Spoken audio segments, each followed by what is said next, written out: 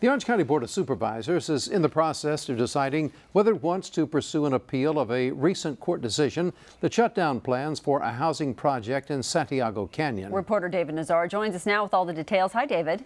Ed and Ann activists in the rural canyon areas of Trabuco, Modjeska, and Santiago say they're livid and baffled over how OC supervisors and particularly Todd Spitzer could still be on the fence over a private development project that has been argued and debated for years and where the opposing voice is so loud.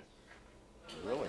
These canyon activists, part of the Saddleback Canyons Conservancy, say the court got it right when a judge stopped development plans for this land. An OC Superior Court judge said county supervisors violated the law when they approved the 65 home Saddle Crest development.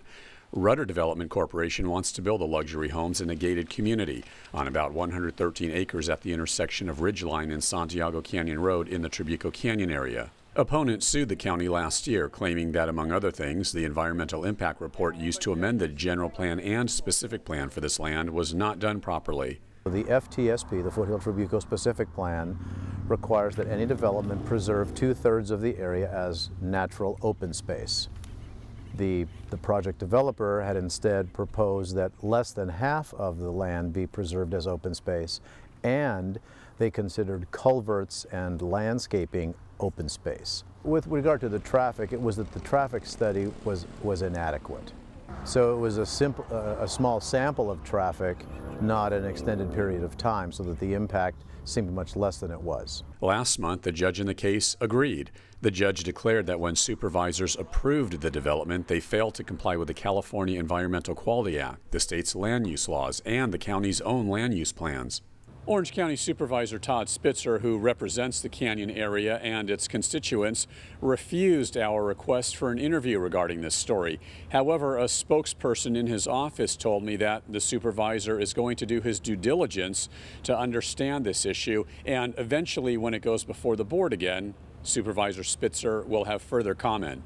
It would be prudent for Supervisor Spitzer to stake out his position on this, make it clear to us what his thinking is on it, I think that's only right for him as the supervisor for this district. One supervisor who is talking is John Moorlach. We have not met in closed session to discuss it, so that's still being reviewed by county counsel.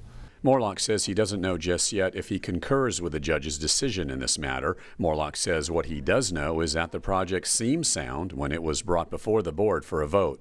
The specific plan was reviewed by county counsel. It was vetted. It went through, you know, you know, a lot of discussion.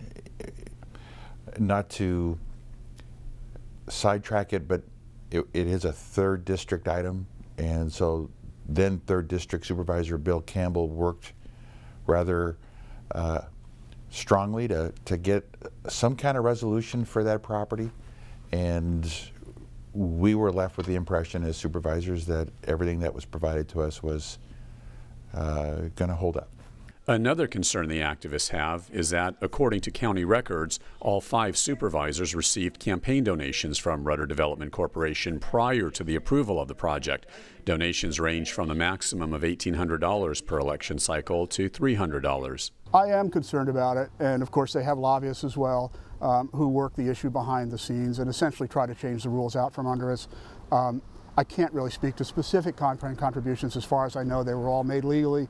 Um, but obviously they're going to have an impact. Obviously they have had an impact.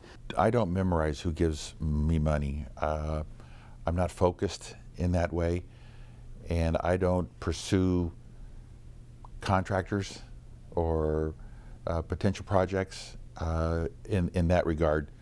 So when I made my vote, didn't even think about that component of, of, of the deal.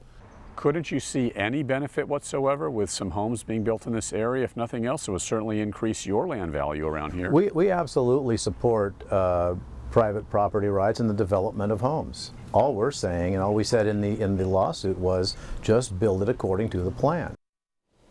Now, there is another issue the activists are concerned about, and that's the fact that if this project ultimately does go through, it could set precedent for other developers to cut their way through the canyons of Orange County and, as they say, add to the urban sprawl. And by the way, Ed and Ann, the Saddleback Canyons Conservancy says the area already has enough demolition of the natural hills and valley and the destruction of ancient oak forests, which are being replaced, as they say, by scores of tract homes, which are lining their communities.